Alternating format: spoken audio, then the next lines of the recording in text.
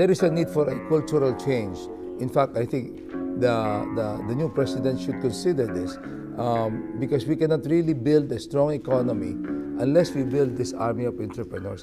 We have to, to change our culture of employment to one of a culture of entrepreneurship. We need to convince our young people that it is good to be an entrepreneur. They can be entrepreneurs. You don't really need a huge capital to start. In fact, I tell our young people that if you have nothing, you have nothing to lose. If you have no money, then what are you afraid of?